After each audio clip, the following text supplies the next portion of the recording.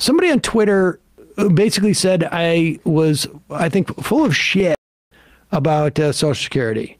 And there's no uh, faster way than to me to invite somebody on to uh, the show to call in. I think this is them. 916 area code. Who's this? Where are you calling from? Hi, I'm Ayman from the Table Moments podcast, and yes, I did say you were full of shit. Okay, so it is that guy. All right. Um, Yeah. Do we have the? Do we have your tweet? Do we? Ha- do we have that uh, that clip? Um, well, I, we're gonna we're gonna we'll we'll play the clip so that we can start this. But uh, I invited you to call in uh, to you know uh, to to discuss this. Do you have it? It should be on my. Uh, I I responded to him at one point. I don't know when it was. Sometime yeah, the other you did. day. I was really surprised, actually. Really, really surprised that you did. Uh, well, you know, just to give you credit.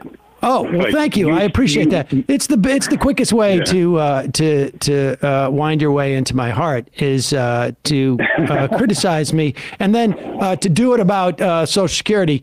That's that's like honestly, that's like catnip. All right, here it is. Uh, here is uh, the the tweet that uh, uh, caused me to invite you to call in and, and have this conversation. Sam Seder and Patrick David debate about private enterprise versus government, and Sam makes the case that Social Security eliminated the risk of poverty for our senior citizens. What this idiot is missing. Do you know what the average life expectancy was when Social Security was first enacted? 65 years old. That's right, motherfuckers. This thing was never designed to serve as many people as it does because the government stupidly did not expect the life expectancy of their own citizens to increase by 20 years. That's why this thing won't work. On top of that, it doesn't account for the population decline who are paying into the system that's serving more people who are retired than enough people who are working to pay for it. On top of that, Sam Seder compares 401ks versus Social Security, conveniently forgets to mention that people who are paying into their 401k are also paying for Social Security. That's 6.2% coming out of your paycheck. It's like investing for your future with a hand tied behind your back. And he calls this a success. Sam Seder and Pat- Okay, so there it is. So, what, uh, what's your name? Yeah, I sound great. You sound great. My name is Simon. Uh, Simon. Simon. Ayman. A Y. Ayman. Oh, Ayman, Ayman, Ayman. Okay, so Ayman, let's let's go through this uh, uh, uh, one by one. Um, you say I said it eliminated the risk of poverty. No, I think what I said was at the time it got two thirds of our elderly out of poverty, and I I think uh, right now you'll find that like somewhere around thirty. Uh, I think the numbers are thirty percent of people would be in poverty. Never mind, you know, living close to poverty. The rest would be very, uh, well, not the rest, but uh, a, a huge another cohort would be very close. But at least 30% would be living in poverty were it not for Social Security. Do you have a problem with that uh, um, uh, fact, or or you just don't think it's important? No, no, no one has a problem with people not living in poverty, which I think is the argument that usually is used against Republicans, like they're heartless or whatever. The fact is, this program was never designed to operate into the future this way. Well, wait, So wait, wait, but, but wait. Let's just uh, we're going to get to there because I got I got I got the average life expectancy and et cetera, et cetera, and population uh, decline and uh, but I just in terms of like you brought up that it that it you said it I said it eliminates the risk of poverty. It doesn't eliminate it, but it it well it does actually eliminate the risk of poverty for all but 9 percent. Uh, it, it eliminates the risk of poverty. It it but it directly keeps at least 30% out of poverty. You accept that fact correct or no? Yeah. Okay. Yeah, so totally. you don't have an issue with that. Um, it it Nobody it- has an issue with that. okay. So we we can agree that at the very least it keeps 30% of elderly out of poverty. It's about another 30% that it keeps just living above uh, you know poverty. And i think you would also agree in addition that diminishes pressure on people's kids to worry about their parents and and and, and helps them in terms of their uh, wealth or in uh, wealth essentially. I mean so are we in agreement on that yeah okay so let's move to average life expectancy now you say the government didn't realize that life expectancy would grow, even though, I mean, that I don't know why you make that assumption. They they had actuarial tables at the time. They knew that life expectancy had grown from 1900 to 1940. Um, what's what's the point about just let's go with life expectancy? Okay, so at the time, it's easy to pass legislation like this when you don't factor in what's going to happen over time. And you can say they have actuarial tables, but we know how congressmen and senators are. They're not factoring that in. It's about the near future instead of the long term future. And so that's why we have the problem now. It's because the math isn't going to work out for the way the population is. What is and the so problem? What is the problem now? There aren't enough workers, and there are way, way more people retired than this program can support. And oh. we know this. The calculations are very clear. Okay. It's just a math problem. Okay. It's a math problem. All right. Well, first off, let's just start with like, what's the problem? In other words, like, uh, you're saying that we have a problem because the worker to retiree ratio, and, and we'll get to that. But what is the problem that you're saying? Like, what is, like, when you say there's a problem, I, I get that you're talking about worker uh, to, to employee ratio, and we can discuss that. It certainly has changed. Um, what is the problem, though? Does that make Social Security People, bad, or did, are you trying to argue that it's not I'm not sustainable? Saying it's, bad. It's not sustainable. Okay. That's the argument I'm making. And giving people the false sense that this is something that they can rely on into the future is going to set people up for failure. Okay. And I think it's important to tell people now that I, probably okay. anyone under 40 are you aware probably of shouldn't expect it the same way. Okay, what should they expect? If I'm under 40 and the US government does nothing, what should they expect in terms of benefits? They have to start planning now. No, no, no. And also, I, I know, I know they have to start planning now.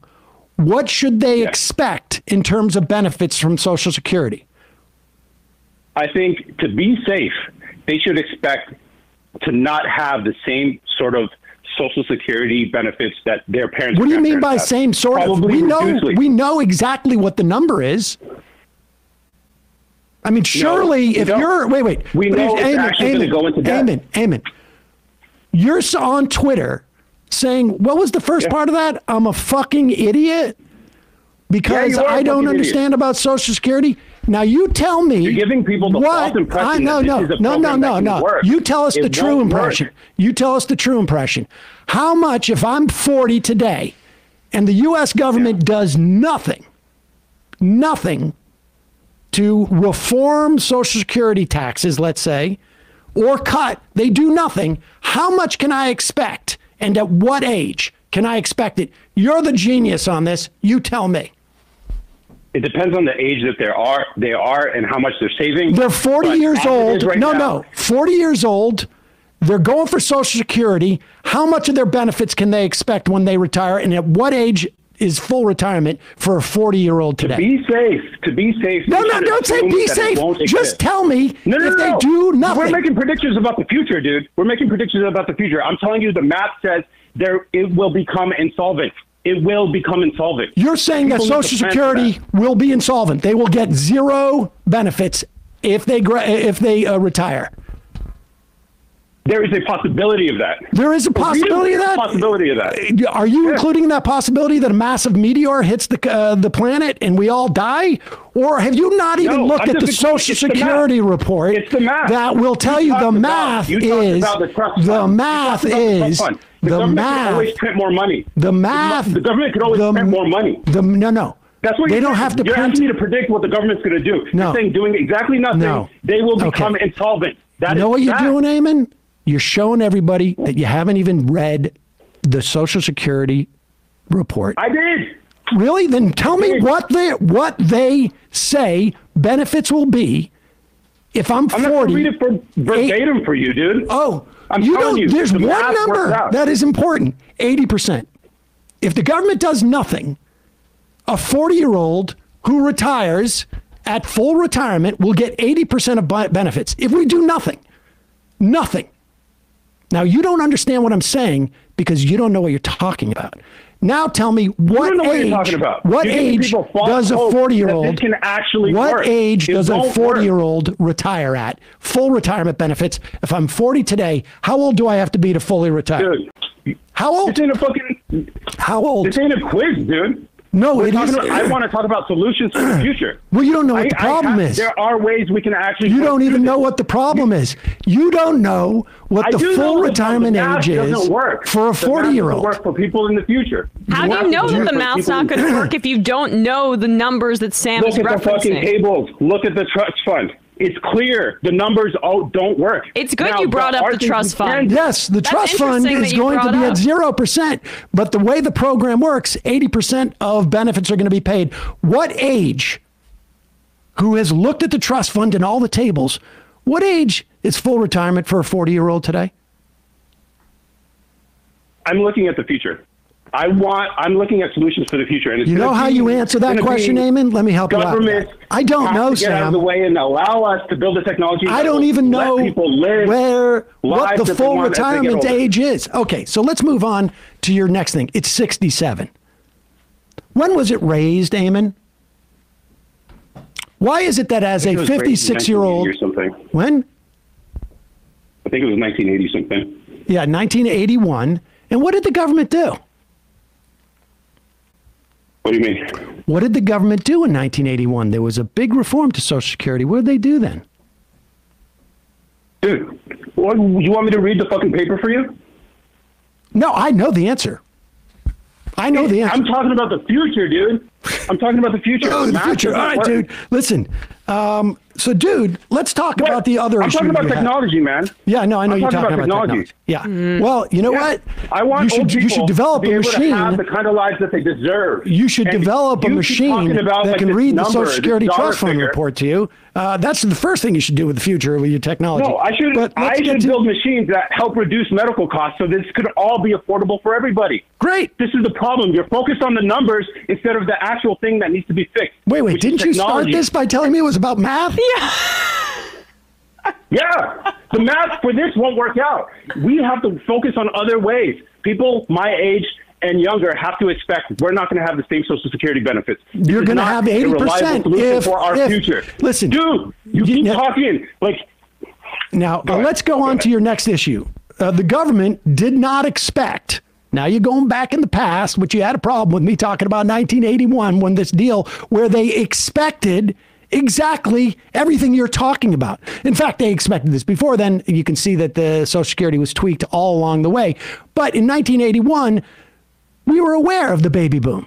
We were aware of things like there's going to be X was number of nice. workers and there's going to be collect X number a lot of retirees. money. It was a beautiful thing in that time until things flipped the other way. Okay, now That's flip the the, other way. your, your big uh, uh, contribution to this is that there is a different ratio of workers to uh, retirees. Is that correct?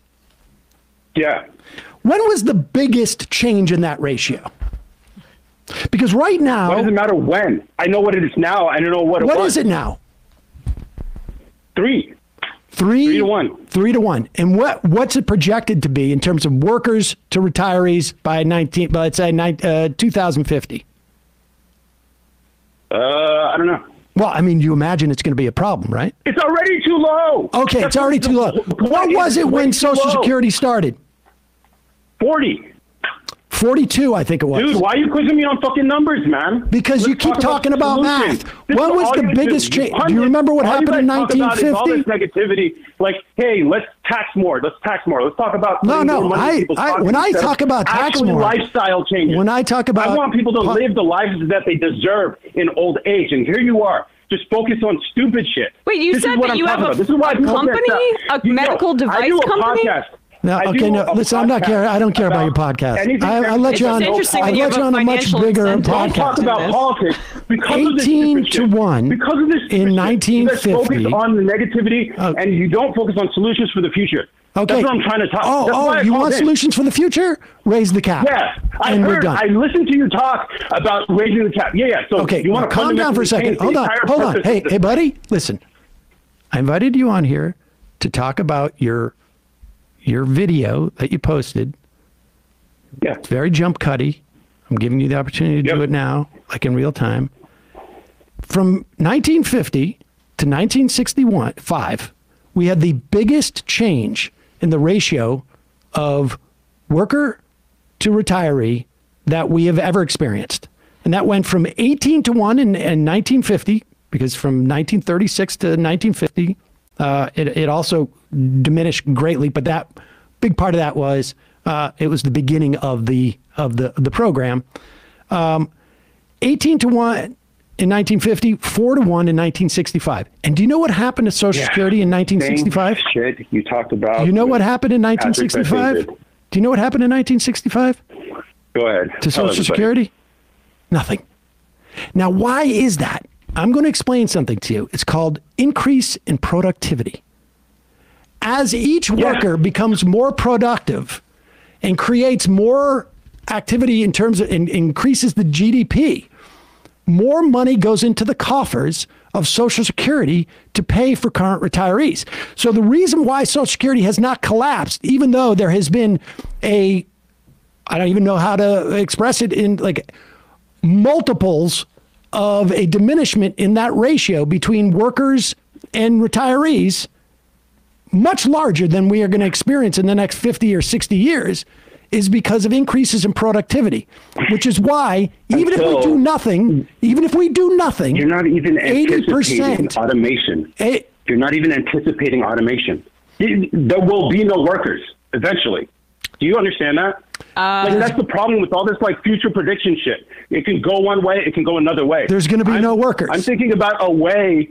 I'm thinking about a way for this to work for everybody. Hey, you know, And dude, we've been hearing about technology improving automation. people's lifestyles. We've been hearing about automation taking away workers' jobs for I don't know Ever. 15, 20 years. no and more. More. And and and ChatGPT. Wait, oh, ChatGPT. oh, Are ChatGPT! you- Oh, oh, right, All right, the well, glorified uh, autocorrect. I mean, All right, I mean listen, that's listen. going to change Listen, everything, listen, bro. listen, I know, I know that it's impossible to predict the future 20 years out by looking at actuarial tables and assessing how what the uh, the No trust one fund is. predicted But but And guess what? But, How right. it changed the, the solvency of Social Security, which I don't even want to talk about because it's kind of morbid. Yeah, but it helped. There are things that But- will happen but- in the future that we won't know. I want to. But you're I- talking I- to I me about, about, a way for the automation and how that it can Chat actually work for people GPT is going to make there be no workers. Jobs are automated away. There are no people but, but, dude, you see the problem why there? is it that my looking into the future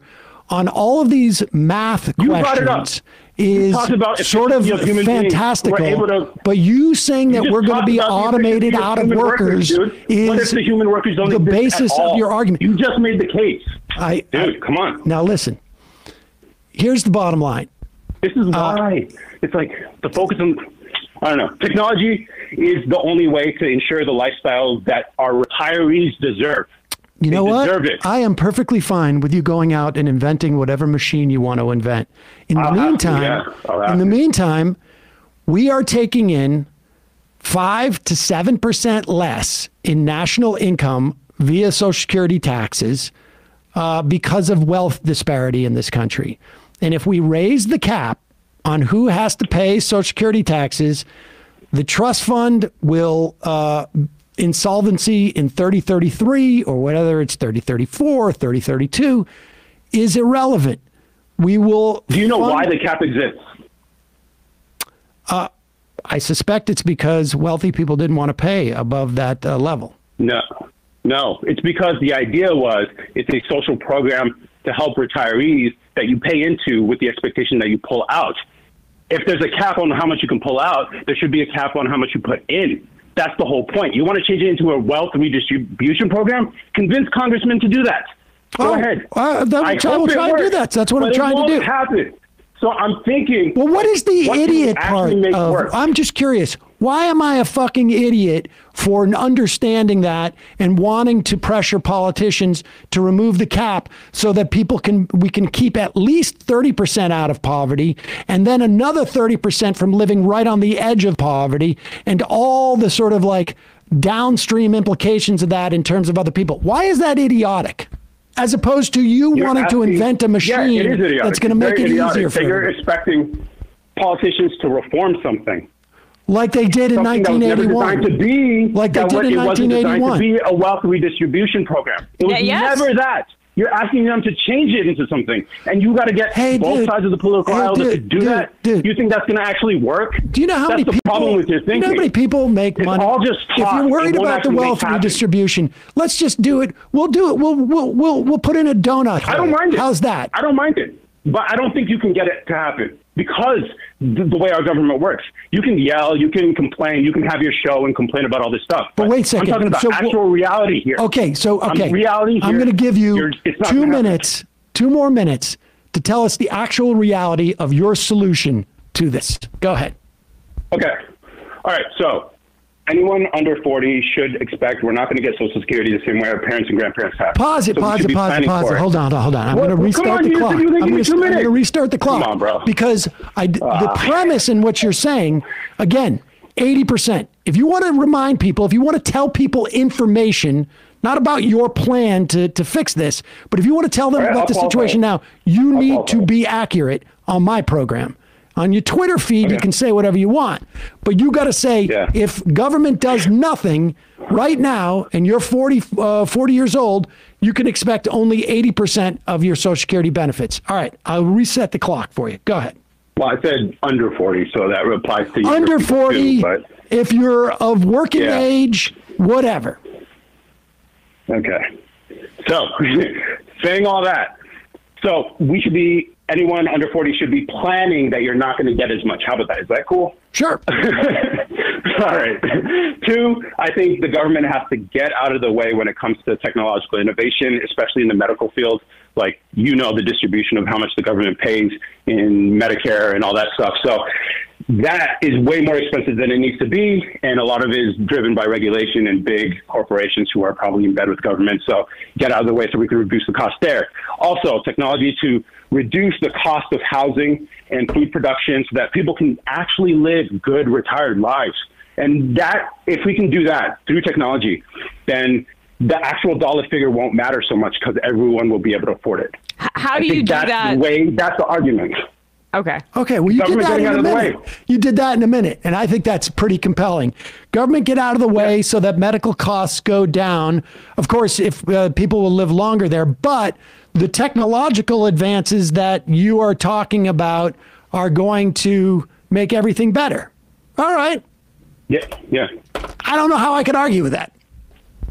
Yeah, I know. That's the thing. I think we would agree on 60% of things, and on the 40% we disagree. You know what? I was being So, facetious. It's just that I didn't think you really All right. said anything. I mean, I, I, I gotta be honest with you. I don't want you. I don't want you to feel like Look, I. the I mean, I just world don't know how you- deserves better businessmen, and I'm going to give it to them. All I'm gonna right. give it to Well. I, I wish you. you, can talk all you want. You are. If you, I hope if you hate that you politics are. and you don't like how negative it is, listen to the Table Moments podcast. We don't talk politics. Typically, that slipped out. My bad. Okay, I That's a good the pitch call. to people Thank you. turning into a dry political podcast. They definitely will do that, sir. I appreciate the call. Um, there it is, folks. Uh, it, I, I hope that as a business person, he is better than he is in sort of understanding broad policy uh, questions. God forbid anyone considers him, you know, like say a fucking idiot or something like that. That's right. I mean, that was, uh, but uh, understand the the, and I don't even know if he's aware that's what he's doing, but that whole libertarian business mindset, which is that like, I'm gonna, I'm gonna, I'm gonna make an assertion about how things are gonna get bad. I'm going to then depoliticize you by telling you that politics are stupid to talk about, to expect politicians to help you out is folly and it's a waste of your time, which of course is completely depoliticizing. I, I, is it going to be a struggle to get uh, politicians to raise the cap and fund Social Security pol- uh, p- properly? Of course.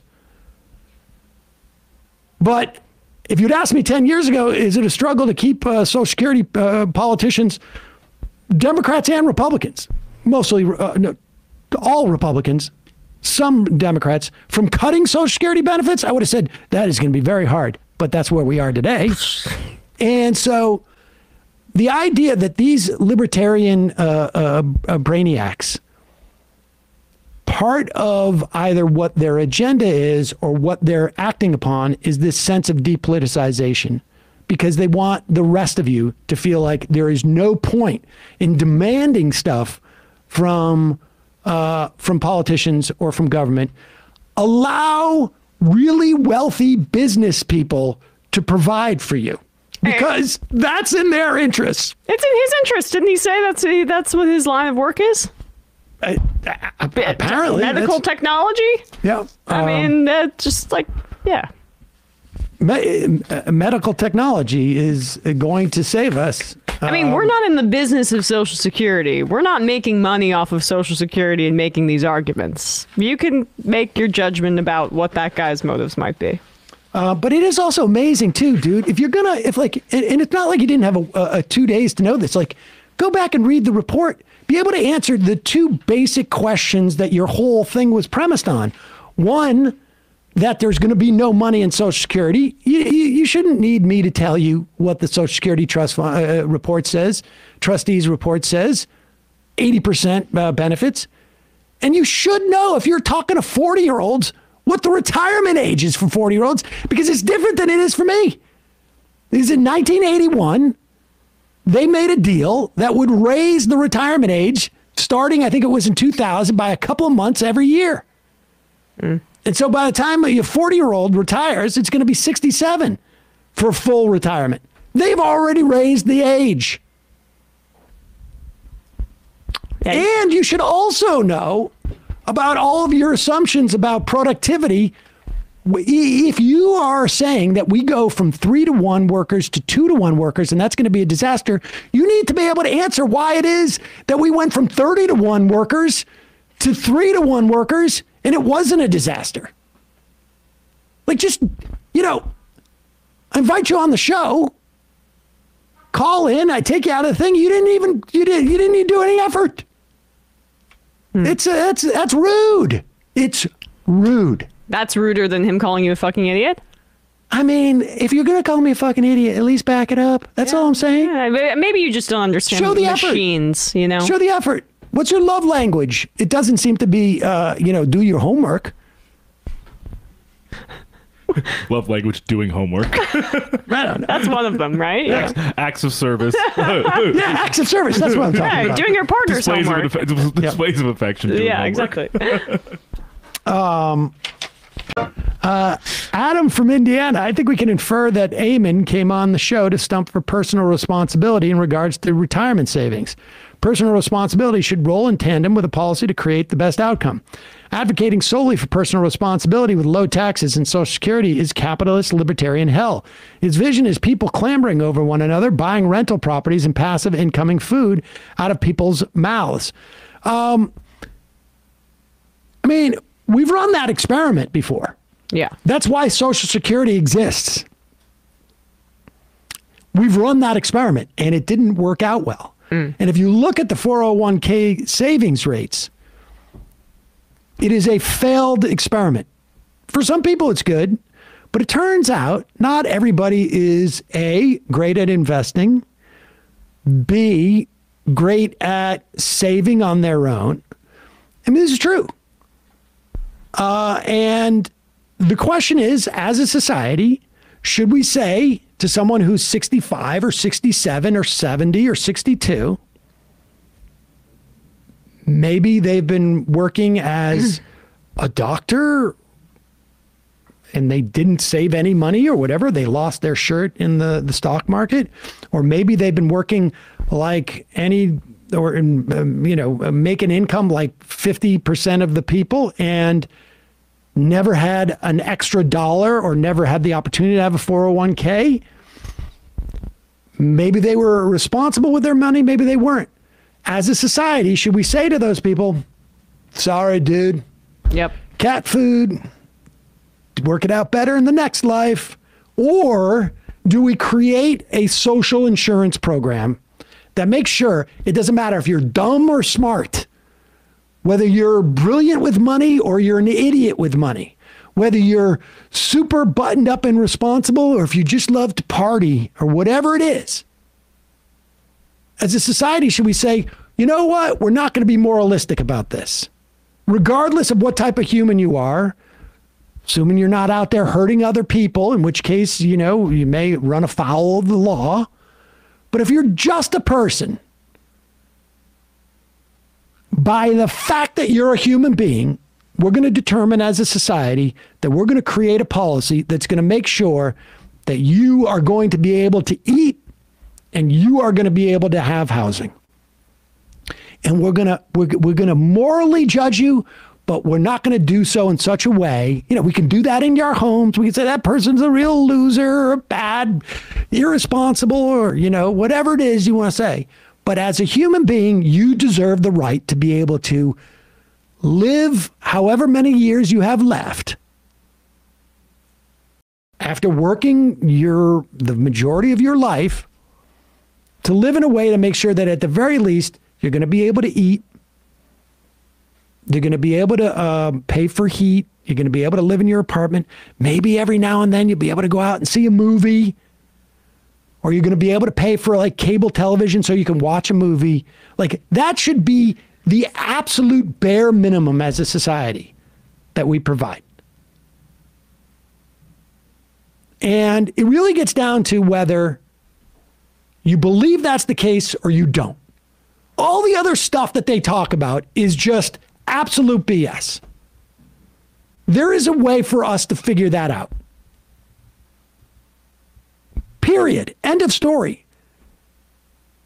Political economy. That's the bottom line. We're making the decision. We made a decision during COVID that we weren't going to have as many children in poverty. And like that, almost overnight, several months, we eliminated 40% of child poverty in this country. And then just as quick, we decided, eh, that was an interesting experiment. Let's go back to the way it was. And boom, I guarantee you in eight months, I don't know what the timeline's going to be. But It's not going to be much longer than that. Maybe it's already here. We're going to see the child poverty is back up to pre COVID levels. Political economy. The economy does not make these people poor. Our decisions as a society, as manifested through our government, makes these people poor